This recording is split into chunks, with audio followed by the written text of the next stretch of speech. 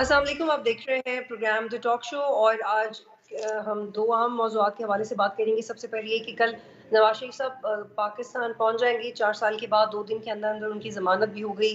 Prosecution जो उस वक्त की उनकी थी, उन्होंने भी ये कह दिया कि हमें उनके पाकिस्तान आने पे कोई एतराज़ नहीं है। एक बड़ा रिलीफ जो कि बड़ा आइडियलिस्टिक सिचुएशन है नवाज़ शरीफ के लिए। और इससे भी ज़्यादा हम बात ये कि नून लीग ने अब अपना एक नया नारा बना लिया कि वोट को इज़्ज़त दो के बाद अब महँगाई से निकालो। इसके ऊपर भी बात करेंगे और प्रोग्राम के आखिरी हिस्से में फ़लस्तीन और इसराइल की जंग के हवाले से मज़ीद तजिया करेंगे कि क्या ऐसा लगता है कि ममालिक में वो पोलिटिकल विल ही नहीं है सीज़ फायर करवाने के लिए। सब मुझे राना एहसान अफजल साहब ज्वाइन करें नून लीग से और नवाब तालपुर साहब मुझे ज्वाइन करेंगे पाकिस्तान पीपल्स पार्टी से। बहुत शुक्रिया राना साहब। राना साहब, पहले तो बहुत मुबारक हो आपके लीडर कल फाइनली कल पाकिस्तान पहुँच जाएँगे। जी, बिल्कुल, अल्हम्दुलिल्लाह जी। पीएमएलएन के लिए, बल्कि पाकिस्तानी सियासत में कल एक बड़ा दिन है, क्योंकि पाकिस्तान की सबसे सीनियर तरीन जो लीडर एक्सपीरियंस वाइज जो है वो पाकिस्तान वापस आ रहे हैं। तीन दफ़ा वज़ी अजम रह चुके हैं और इन ताला चौथी दफ़ा के वज़ी अजम के कैंडिडेट हैं। मुल्क के अंदर तरक्की की उम्मीद की सूरत में वो वापस आ रहे हैं। मुल्क के अंदर एक मजबूती लाने के लिए इस मुश्किल हालात में जो मुल्क माशी तौर पे फंसा हुआ है उससे उसको निकालने की उम्मीद है। तो मैं समझता हूँ कि कल एक हिस्टोरिक वेलकम उनको दिया जाएगा और पार्टी बड़ी हमारी जो है वो इंथुजियास्टिक है। बड़ा बलबला पाया जाता है वर्कर्स में जो कि इनशाला ट्रांसलेट होगा एक हिस्टोरिक जलसे में कल। ठीक है। राना एहसान साहब इस बात पे अपना फीडबैक दीजिएगा कि ये भी सुनने में आ रहा है कि नवाशी वा, नवाशी वापस तो आ रहे हैं लेकिन वो शायद खुद वज़ीर आज़म ना बने। तो ये इन बातों में कितनी सदाकत है? देखें पार्टी की तो ख्वाहिश है कि मियाँ नवाज़ शरीफ वज़ीर आज़म बने और वही चौथी दफ़ा के कैंडिडेट हों। इसका फैसला कि वो खुद वज़ीर आज़म बनते हैं या किसको मुंतखब करना है वज़ीर आज़म के लिए जो फाइनल से है वो मियाँ नवाज़ शरीफ की ही होगी। तो ये जो आप बात अगर कर रही हैं, लेकिन मैं समझता हूँ कि पूरी पार्टी का फैसला मियाँ नवाज़ शरीफ के ऊपर है कि वो चौथी दफ़ा वज़ीर आज़म बने। ठीक है। राना एहसान साहब, नवाज़ शरीफ की वापसी को लेकर आप देख रहे हैं कि चैनल्स पे लंबी ट्रांसमिशन हो रही हैं। ये एक बहुत बड़ी खबर है वापस आ रहे हैं। लेकिन नवाज़ शरीफ वापस आके करेंगे क्या? ये भी एट द सेम टाइम हम सोच रहे हैं कि नवाज़ शरीफ अपनी पुरानी टीम के साथ नया क्या कर सकेंगे?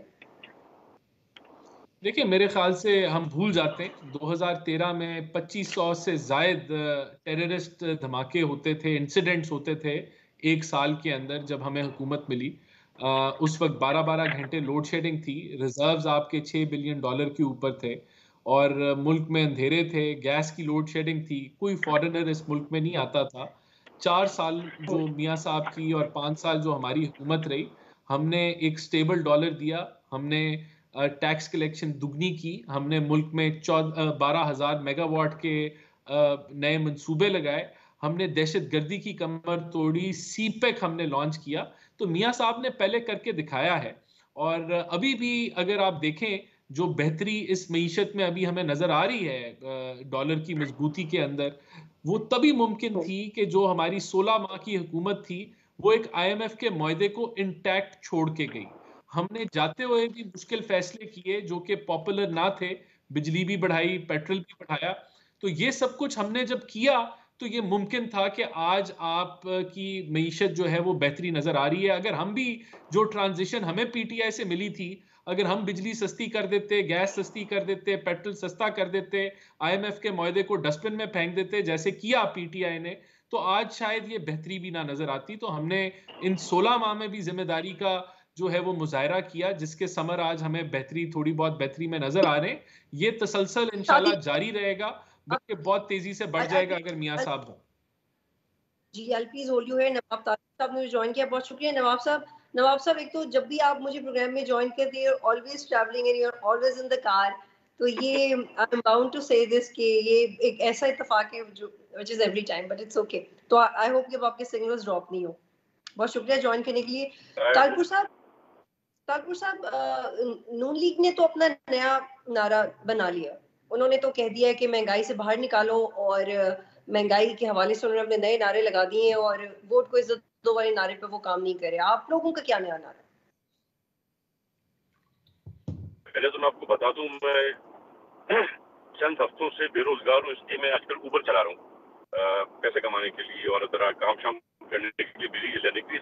इसलिए जब तक हुकूमत फिर से आएगी तो मैं आपको गाड़ी में नज़र आऊँगा। होपफुली सिग्नल ठीक रहेंगे। देखिए जी, हम ये जानते हैं कि हालात बहुत खराब हैं। हमने बहुत बड़ी कुर्बानी दी है लेके क्योंकि हमारे पास दो ही ऑप्शन थे, या तो इस मुल्क को उस करप्ट पाकिस्तान दुश्मन इमरान खान से बचाते, या फिर अपनी सियासत बचाते। तो हमने मुल्क की खातिर, चाहे वो प्रेसिडेंट जरदारी हो, चाहे वो नून लीग हो, हर किसी ने रिस्क उठा के और कोशिश की और अलहमदुल्ला बहुत बेहतरी तो नहीं ला सके, पर जिन, जिस दलदल में पाकिस्तान फंसा हुआ था, उस दलदल से निकालने में कामयाब हुए। आईएमएफ और वर्ल्ड बैंक जिस तरह से हमें ब्लैकलिस्ट करने वाले करने वाले थे उससे हमने मिलकर इस मुल्क को बचाया। बहुत सी चीज़ों में बेहतरी लाए बहुत, बहुत सी चीज़ें नहीं कर सके। तो वो जारी बात है जो इन ताला हुकूमत आएगी नई हुकूमत आने के बाद ही आपको बेहतरी नज़र आएगी।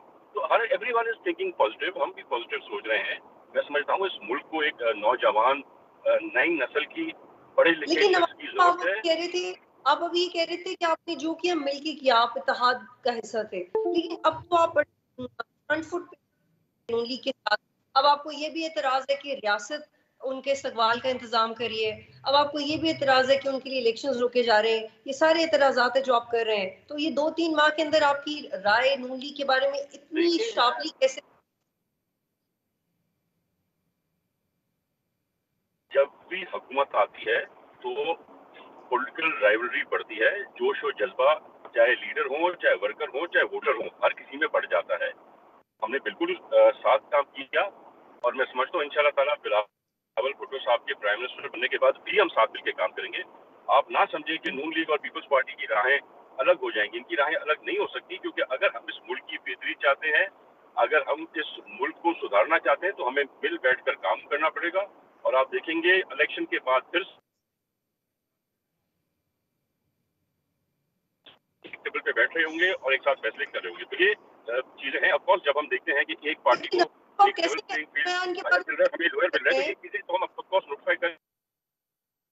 जी इस बयान के बाद आप कैसे अलग अलग कानून चल रहे हैं तो उस पर मैं ज़रूर छोड़ करूँगा जी नवाब साहब इस इस बयान के बाद कि एक शख्स के लिए इलेक्शंस रोके गए इसके बाद राहें जुदा कैसे नहीं होंगी? ये इतना स्मूथ कैसे होगा आप दोनों पार्टी देखिए ये हमें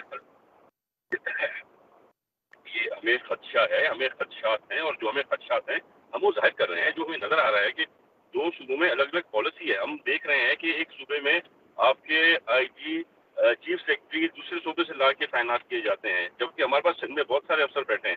सिंध की जो डेवलपमेंट स्कीम्स हैं ऑन गोइंग वो रोक दी जाती हैं, बाकी सूबे में जब ये चीज़ें आएँगी तो हम ये बात करेंगे। पर ये कभी ना सोचे कोई भी कि मुल्क की जब बात आएगी तो हम इकट्ठा बैठे हों। ठीक है, आप काइंडली मेरे साथ अगर राना एहसान साहब, आपने नवाब तालपुर साहब का जवाब सुना। उन्होंने कहा कि कोई भी स्टेटमेंट आ जाए, लेकिन राहें जुदा नहीं होंगी। जितना आराम से नवाब साहब ये बात कर रहे हैं, और जिस तरह से बिलावल साहब ने बात की कि आप लोग भी इसको इसी तरह नजरअंदाज कर देंगे सियासी तौर पे, कि वो आप लोगों के लिए कह रहे हैं कि आपको रियासत सपोर्ट कर रही है, और आप लोगों के लिए इलेक्शन रोके गए?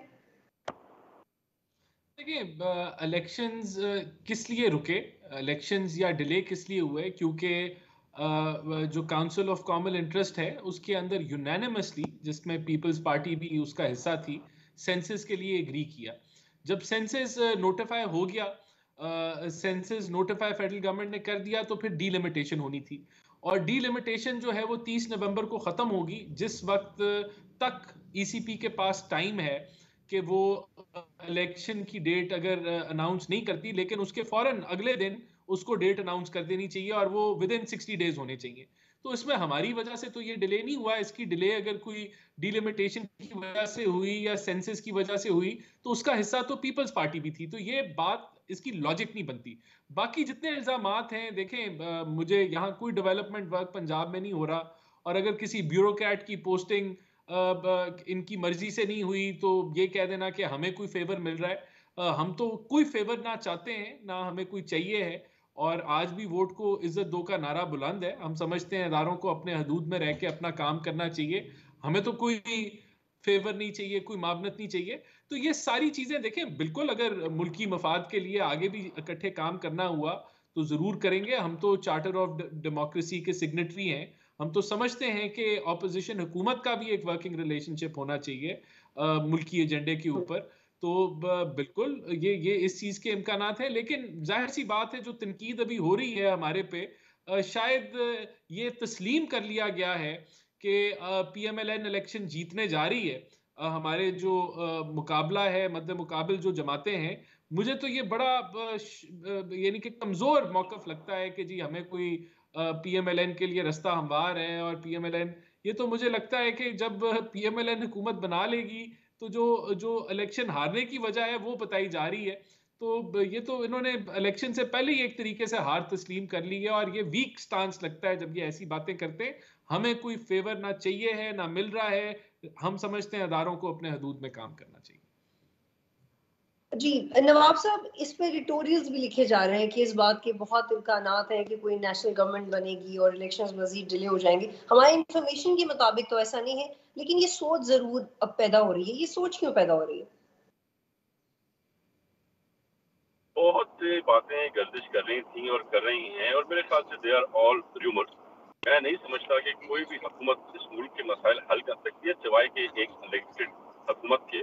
और इन ताला मैं समझता हूँ ऐसा किसी चीज़ ऐसी कोई चीज़ करने का कोई फ़ायदा नहीं होगा नुकसान नहीं होगा। तो आ, मैं नहीं समझता कोई भी कोई ऐसा काम करेगा जिससे हमारी पोलिटिकल स्टेबिलिटी इस मुल्क की खराब हो इकोनॉमिक स्टेबिलिटी इस मुल्क की खराब हो। तो कोई तरीकेकार नहीं है। मार्च में हमारा जो सेनेट है वो आपका फिफ्टी परसेंट से ज़्यादा सीटें वेकेट हो जाएँगी। तो ये इस तरह चल नहीं सकता है। ये र्यूमर्स है मेरे साथ इसके ऊपर में गौर नहीं करना चाहिए। इन ताला इलेक्शन होंगे ज़रूर होंगे और बिलावल भुट्टो साहब प्राइम मिनिस्टर बनेंगे। और फिर बेहतरी हम लाएँगे मुल्क के लिए। ठीक है नवाब साहब रिसेंटली ये जो एस्टेब्लिशमेंट के साथ पीटीआई के भी मुजाकरात की कोशिश की जा रही है और सिटिंग प्रेसिडेंट भी इसमें एक रोल प्ले कर रहे हैं। आपको लगता है कि ये एक ऐसा मूव है जिसमें सियासी जमातें अपना किरदार अदा करने की कोशिश करेंगी? इलेक्शन से पहले? देखिए जहाँ तक पीटीआई की बात है तो मेरे ख्याल से पीटीआई में आ, काफ़ी आ, ऐसे लोग हैं जो शायद अभी तक रह गए हों और अभी तक आईपीपी में ना गए हों। तो मेरे ख्याल से उनसे बात हो सकती है। असल मसला है नौ मई का। असल मसला है इमरान न्याजी का, जो कि एक मुल्क दुश्मन आदमी साबित हुआ। जिसने इस मुल्क के खिलाफ जो कुछ कर सकता था करके दिखाया। इस मुल्क के इदारों के खिलाफ हमारी पाक फौज के खिलाफ। तो इमरान खान से तो बात करने का कोई चांस नहीं है, ना होगा। ना ही कोई भी ऐसा शख्स जो कि नौ मई के वाक्य में इन्वॉल्व था। पर अगर वैसे पीट कैसे कोई बात करे तो हमें कोई हर्ज नहीं है। हम तो चाहते हैं लेवल प्लेइंग फ़ील्ड बिलाल साहब ने बड़ा क्लियरली कहा कि हमें हर किसी के लिए लेवल प्लेइंग फ़ील्ड चाहिए, चाहे वो कोई भी जमात हो। ठीक। राना इसान साहब आप बताएँ कि ये इन मुजाकरात का क्या मुस्तबिल होगा? क्योंकि मुजाकरात का दरवाज़ा तो हमेशा ही एक मुनासिब रास्ता होता है। बाकी जमातों से भी अपने अपने वक्त पे, मुख्तलिफ़ मामला में मुजाकरात हुए। तो अगर पीटीआई से कोई कोशिश कर रहा है तो क्या बाकी जमातें भी उसको सियासी तौर पे कंसिडर करेंगे? देखिए, बिल्कुल जो लोग 9 मई में मुलविस नहीं थे और जो लोग इस साइफर ड्रामे के अंदर मुलविस नहीं थे उनसे बातचीत होनी चाहिए। लेकिन इस वक्त तो पीटीआई जो है वो बेहद तकसीम हो चुकी है।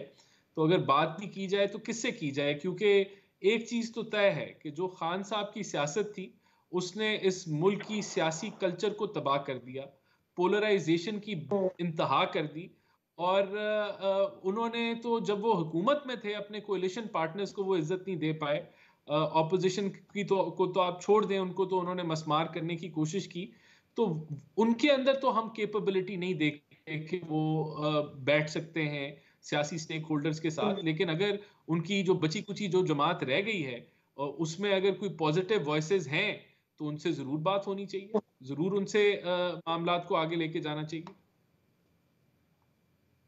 ठीक है साहब मैं इस इस पे भी आपकी राय जानना चाहती हूँ कि पहले नून लीग ने एक एंटा एस्टैब्लिशमेंट अपनाया था बड़े अरसे तक मरीम नवाज़ ने भी बड़ा तकर रही थी लेकिन फिर लंदन से ये रिपोर्ट्स आई कि एंटा एस्टैब्लिशमेंट बात नहीं करनी जो भी मुल्क के लिए बेहतर है वो करना ये ये सुनने में बड़ा अच्छा लगता है। लेकिन इसमें बात पहले भी सवाल पूछ चुकी हूँ और आ, मुझे इस बात का पर्टिनेंट जवाब तभी मिल सकेगा जब नवाज़ शरीफ मामला चलाएँगे मुल्क में आके। लेकिन आपके जहन में क्या है? क्या नवाज़ शरीफ की शख्सियत बदल बदल गई है? क्या वो ज़्यादा धीमे मिजाजियों के हो गए? क्योंकि he has been really straightforward with देखिए पाकिस्तान तो वो वो कर देखिए पाकिस्तान की जो हकायक हैं उसमें इस्टेब्लिशमेंट का जो रोल है वो रहा है लेकिन हम तो समझते हैं कि वो आईनी हदूद के अंदर होना चाहिए। अगर कोई हम्म। पुराने ऐसी लीडरशिप पोस्ट पे बैठे थे इस्टेब्लिशमेंट में जो आज नहीं मौजूद और उन्होंने अगर कोई गैर कानूनी काम किए हैं तो उनका एहतसाब होना चाहिए है या नहीं होना चाहिए, ये तभी मुमकिन है जब सारे सियासी स्टेक होल्डर्स एक पेज पे हों और जो इदारे हैं वो भी एक पेज पे हों। मेरे ख्याल से ये वक्त अभी आगे जब आएगा तो इस पर बातचीत होनी चाहिए। हमारा स्टांस नहीं चेंज हुआ, लेकिन इस मुल्क के जो बड़े इश्यूज़ हैं, गुर्बत है, महँगाई है, उस पर हमारा फोकस है। वही फोकस होगा और ये जब मचोरिटी जब ओवरऑल पॉलिटिकल पार्टीज़ में एग्जिस्ट करेगी कि इस सब्जेक्ट के ऊपर एहतसाब कैसे होना चाहिए, है, उसमें अदारे भी शामिल हों तो तब ये चीज़ें आगे बढ़ सकती हैं। वरना हमारी जमात तो वाहिद जमात है, जिसने कोशिश की कि जो लोग आइन को हाथ में लेते हैं, उसका एहतसाब किया जाए। लेकिन जब सारी जमातें वन पेज पे नहीं होती तो ये मुमकिन नहीं होता कि ऐसा हो जाए।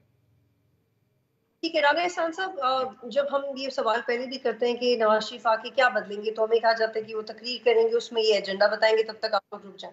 लेकिन क्या आप इस सवाल का जवाब दे सकते हैं कि जो नजरियाती लोग आपकी पार्टी के अंदर से नाराज़ हुए, जो कुछ लोग बाहर अलग हुए आप जब बायपो हुए तो आप लोगों ने उन लोगों को वोट दिए जो मुनर किया ऐसे तो इस बात को आप यकीनी कैसे बनाएँगे कि जो नजरियाती लोग नाराज़ हो गए हैं, वो पार्टी में वापस आए या मजीद लोग को कोई शिकायत ना हो? देखिए, मियाँ साहब वापस आ रहे हैं। इन ताला वो बेहतर फैसले लेंगे। यहाँ मौजूदा सूरत हाल को देखते हुए, जानते हुए। तो मैं तो पुरुद हूँ कि हमारे जो जो पार्टी है, उसमें काफ़ी कदर बेहतरी आएगी और जो नाराज़ लोग हैं, उनको भी मना लिया जाएगा। ठीक है, बहुत शुक्रिया राना साहब और नवाब तालपुर साहब प्रोग्राम में ज्वाइन करे थे। एक ब्रेक लेते हैं, फिर वापस आते हैं। मैं खुश आमदीद और ये एक ऐसा मौजू है जिसमें खुश आमदीद कहना बनता तो नहीं है, लेकिन हम रिवायती तौर पर ये लफ्ज़ इस्तेमाल करते हैं। जिस मौजू की तरफ़ हम बढ़ रहे हैं, वो इसराइल और फ़लस्तीन का मामला है और हर गुजरते दिन के साथ तकलीफ़ दे मनाजिर अनएक्सप्लेनेबल विदाउट एनी पॉलिसी समझ नहीं आता दुनिया किस तरफ़ जा रही है और जो वॉर क्राइम्स हैं, वो लगता है कि उस पर किसी की तवज्जो ही नहीं है यूनाइटेड नेशंस बेबस नज़र आते हैं। सैयद मोहम्मद अली साहब मुझे ज्वाइन करें इंटरनेशनल रिलेशंस के एक्सपर्ट हैं ब्रिगेडियर रिटायर्ड वकार मुझे ज्वाइन करें डिफेंस एनालिस्ट हैं। सैयद मोहम्मद अली साहब पहले आप बताइएगा कि सर ये किसी को नज़र नहीं आ रहे कि कितने वॉर क्राइम्स हो रहे हैं। ये ये किसी को बॉदर क्यों नहीं कर रहा है शुक्रिया जी देखिए बिल्कुल आप सही कह रही हैं कि जो इंसानी सूरत हाल है गजा की पट्टी में आ, वो बहुत ज़्यादा जो है रोज़ाना ख़राब से ख़राबतर होती जा रही है। और आपने जिस तरह बिल्कुल सही कहा कि न सिर्फ़ आलमी कवानीन आलमी जो जबते हैं उनका बिल्कुल पास नहीं रखा जा रहा, बल्कि न सिर्फ़ ये कि सिविलियन आबादी के ऊपर जिसमें से सत्तर फ़ीसद औरतें और बच्चे हैं उनको शहीद किया जा रहा है रोज़ाना सैकड़ों जहाज़ों को बमबारी करके बल्कि कीमियावी हथियारों का भी जो बैंड मटेरियल्स हैं, उनका भी इस्तेमाल किया जा रहा है। और दूसरी तरफ़ जो दिफाई सूरत हाल से हट के जो सिफारती सतह पे भी आप देखें तो जो सिफारती कोशिशें मुस्लिम ममालिक की जानब से हैं, वो बुनियादी तौर पर सिर्फ़ दो बातें कर रही हैं। एक तो वो तशवीश का इजहार कर रही हैं, मजम्मत कर रही हैं, या रिलीफ की थोड़ी बहुत कोशिशें कर रही हैं। लेकिन हकीकत यह है कि जिस तरह वो कहते हैं ना है जुर्म ज़ईफ़ी की सज़ा मर्ग मफाजात तो दिफाई एतबार से जो सप्लाईज रोज़ाना अमेरिका, बरतानिया, फ्रांस से पहुँच रही हैं। उन हथियारों की सूरत में इसराइल को, जो कि इन मासूम लोगों पे बरसाए जा रहे हैं, उनमें कोई कमी नज़र नहीं आ रही। तो दरअसल जो इस जंग का मुस्तबिल है उसका तयन जो है, वो इस बात पे ज़्यादा है। उसका मेरे ख्याल में आलमी कवानीन और सिफारतकारी से आपको ज़्यादा तो नहीं करनी चाहिए कि बल्कि जो मुताहरब हैं जो जो दीगर ममालिक हैं, जो कि हमास की मदद कर रहे हैं या करना चाहते हैं, या वो तंजीमें जिस तरह हमास है, के साथ साथ हूती हैं, या हिजबुल्ला है, या दीगर ब्रिगेड्स हैं वो किस हद तक इस जंग को पेचीदा बनाते हैं और हमास की मदद करते हैं? असल में फ्यूचर जो है ना इस जंग का दारोमदार इसके ऊपर होगा। जी प्लीज़ आप मेरे साथ ही ब्रिगेडियर वकार साहब, जिस वक्त ये जंग शुरू हुई थी, तकरीबन पंद्रह दिन पहले ऐसे कम में तो ये ये बहुत तजिया किया जा रहा था कि ये रीजनल वॉर खुदा नखासा बन सकती है। लेकिन अब एक ओपिनियन ये भी है कि ये क्योंकि रिसेंट पास में ऐसा नहीं हुआ कि किसी तीसरी कुत ने जंप इन किया हो। तो ये रीजनल वॉर तो नहीं बनती हुई दिखाई दे रही, शायद, लेकिन ये ये लंबी चलेगी। और जैसे कि सैयद मोहम्मद अली साहब कह रहे हैं कि हम इंटरनेशनल लॉ डिप्लोमेसी को नहीं ला सकते, इस तरह का मामला है, वो बेबस है। और जो मुतहरिक कुत है, उनसे उनसे कुछ एक्सपेक्ट किया जा रहा है तो उनसे क्या किया जा सकता है? उनसे कौन बात कर सकता है? उनको किस किस तरह से इंगेज किया जा सकता है? अच्छा आई थिंक इस पे आने से पहले थोड़ा सा मैं ब्रीफली थर्टी सेकंड लूँगा कि एक तो ये कॉन्टीन्यूशन ऑफ़ पॉलिसी है ये फ़र्स्ट टाइम नहीं है फरोशियस ज़रूर है पहले से ज़्यादा। अभी ये फोर्थ इंतफादा है जो फ़लस्तीन में चल रही है चौथी रजिस्टेंस है। और इसमें इसराइल की एक हाँ। दाइवा पॉलिसी है जिसका बेसिकली बिनगोरिया के टाइम से है और उसको कहते हैं मोइंग द ग्रास यानी घास काटना। इसका मतलब है कि फ़लस्तीनियों को एक घास की फ़सल समझा जाता है कि जैसे इनकी एक नस्ल जवान होगी, आप उसको जो है वो काटेंगे, उसको मिसमार करेंगे और उनको इकोनॉमिकली पुश बैक कर लेंगे और इसी तरीके से परपेचुअल वॉर तो ये पॉलिसी बड़ी क्लियर होनी चाहिए। सिर्फ़ अनफॉर्चुनेटली आई थिंक इतनी बेहसी है I would say even Islamic countries में कि हम इसको basically now become you know miseries into drawing rooms वाली बात है कि आप देख रहे हैं जी कि एक इवेंट हो रहा है और उस पर लट से आप कमेंट कर देते हैं या आप लट से मजम्मत कर दी या आपने इजहार कर दिया। सो so, उसमें आई थिंक जो इंसानी ज़मीर इट लुक्स के प्रॉब्ली इट इज़ डाइड और आई थिंक इसमें ज़्यादा जो इम्पोर्टेंट रोल है वो तो एक रीजनल जो साथ वाले नेबर्स लाइक मिस्र है जॉर्डन है सीरिया है देन यू हैव लेबनान और फिर आ जाता है जो सैद अली साहब ने बात की कि जो मुतारब ग्रुप्स हैं जो अफिलिएटेड हैं या उनको भी पता है basically they basically for the same struggle against ये जायनस जो एजेंडा है तो उसमें एक तो नॉर्थ में तो किसी हद तक खुला हुआ फ्रंट जो है हिजबुल्ला के साथ ऑलरेडी आई थिंक इनकी स्कर्मिश शुरू है। आ, मुझे अजीब सा लगा कि सीरिया जैसा अच्छा खासा मुल्क था खैर वो वॉर की वजह से काफ़ी उसका नुकसान हुआ कि वहाँ जाके ये टारगेट कर रहे हैं और वहाँ से भी मिलिट्री रिस्पॉन्स नहीं है। फिर जॉर्डन है जहाँ पे जो हाशमाइत किंगडम है देखा जाए तो वो वली वारस हैं बैतुलमुक़दस के और वहाँ से अगर वो चाहें मेरे ख्याल में दो ब्रिगेड भी डिप्लॉय कर दें ये लेट्स से जॉर्डन रिवर के ऊपर तो बड़ा फ़र्क पड़ेगा प्रेशर पड़ेगा। अभी टर्की ने कहा था कि ये एड जो जाएगी हमारे फौजी लेके जाएँगे और कुछ नेवी मूव की है। सो आई थिंक जो before coming to military option कम अज़ कम जो ओ कर सकती थी वो है इकनॉमिक बाइकआउट और इकनॉमिक प्रेशर आप डेवलप करें जिस रशिया के साथ वेस्ट ने किया है। आई थिंक आपने पिछले दो साल में देखा है डिस्पाइट. के वेस्ट का इशारा किया जा रहा था यूक्रेन में। लेकिन इकनॉमिक प्रेशर डाल के उन्होंने काफ़ी सारी आई थिंक रशिया को काफ़ी चैलेंजेस दरपेश हैं उसमें। सो so, ये मिनिमम किया जा सकता है। आई डोंट नो इसमें कौन से स्ट्रेटेजिक इंटरेस्ट हैं कौन से ऐसे जियो इकोनॉमिक्स इंटरेस्ट हैं कि एक तरफ़ जो है जेनोसाइड हो रहा है। जेनोसाइड की भी दस स्टेजेस हम्म। देखें तो उसमें I think they are already like India into tenth stage अभी स्टेज ऑफ़ डिनाइल में आए थे कि आप जेनोसाइड कर रहे होते हैं और कहते हैं जी हम नहीं कर रहे।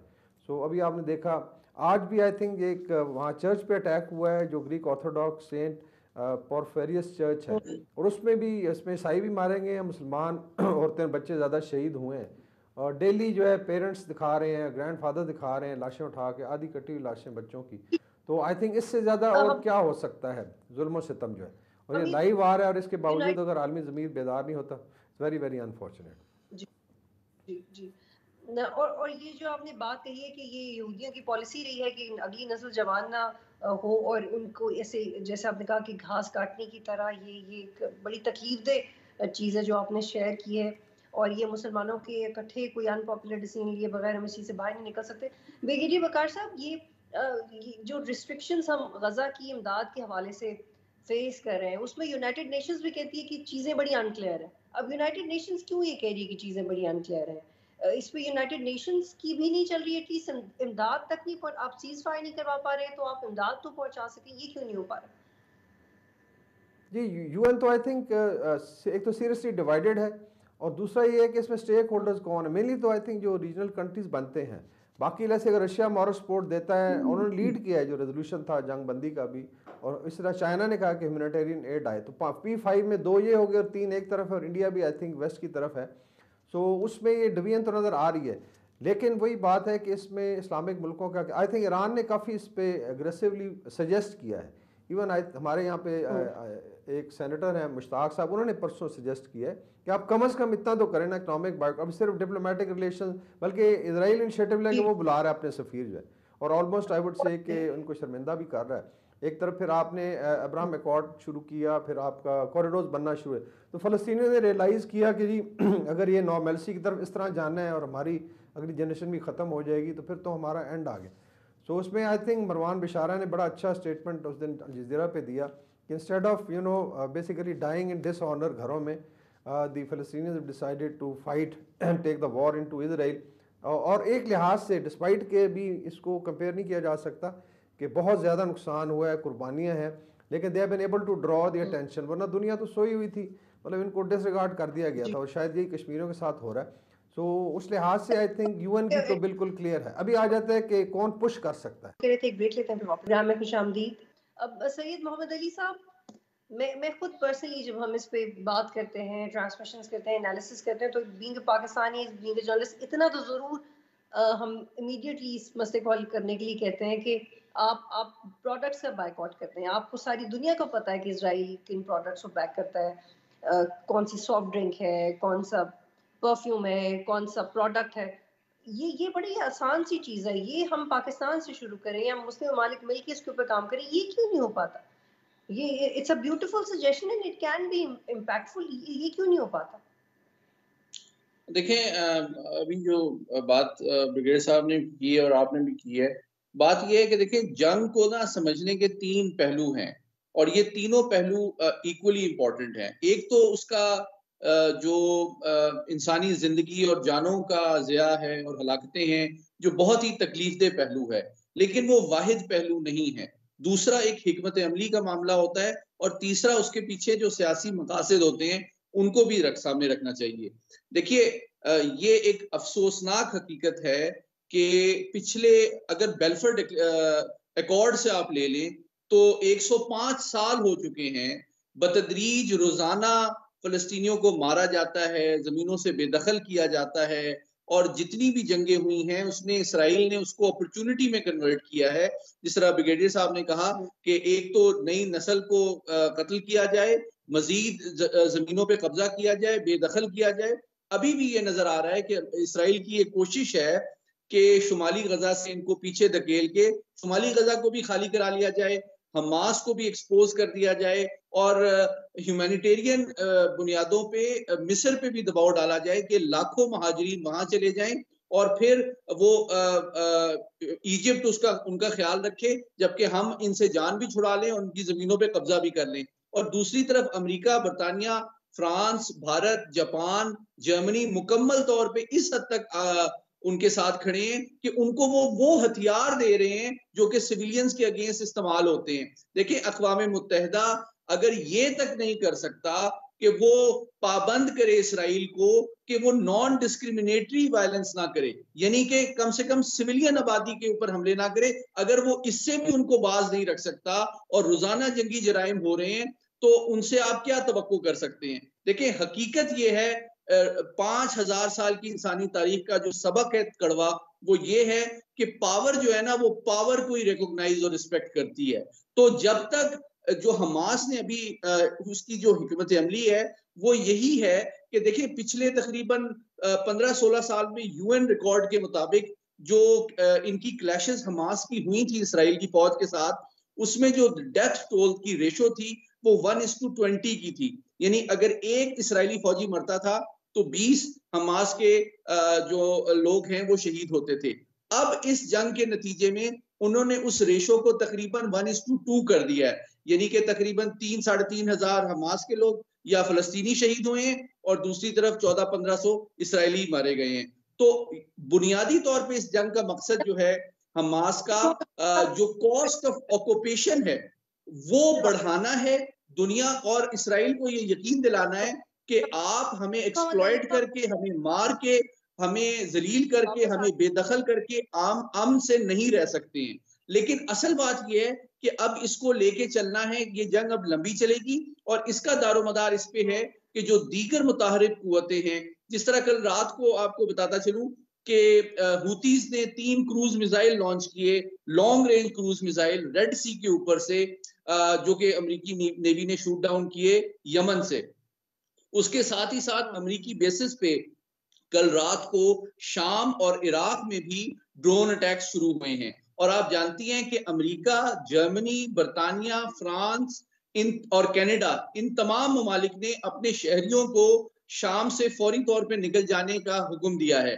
इसका मतलब ये है कि ये तमाम ताकतें उस जंगी हमत अमली का हिस्सा हैं जो इसराइल इस वक्त इस्तेमाल कर रहा है। और वो जानती हैं कि अब जंग फैलेगी तो हम इसकी सपोर्ट करेंगे, सिर्फ़ अपने शहरियों को हम बचा लें फलस्तीनियों को बचाने की कोई बात नहीं हो रही।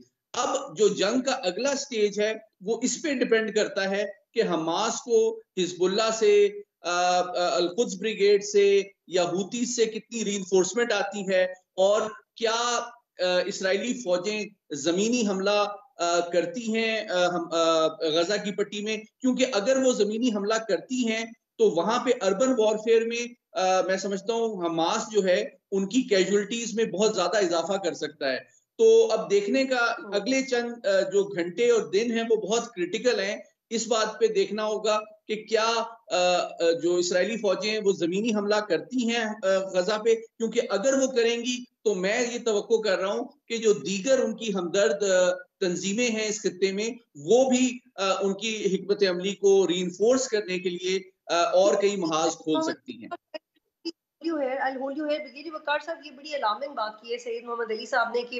है जो बड़ी पावर्स हैं, और पावर रिस्पेक्ट्स पावर ये भी बात की है, और ये कहा है कि लोग, अपने लोगों को निकाल रहे हैं, और अगर वो इसराइल की जंगी हमत अमली को सपोर्ट करे तो सर, ये तो बड़ा अलार्मिंग है। फिर ये क्या खुदा न खासा कोई वर्ल्ड वॉर छिड़ने जा रही है।